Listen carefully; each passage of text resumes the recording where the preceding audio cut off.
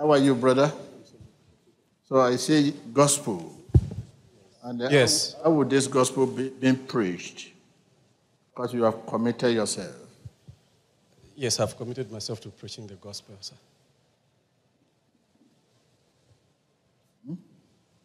But this land is you, it's on debt, debt.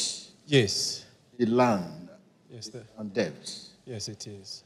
What are you looking for? Are you, are you borrow money for God or what, what are you trying to do? Okay, I didn't see you. Who she? No, she's just a neighbor here.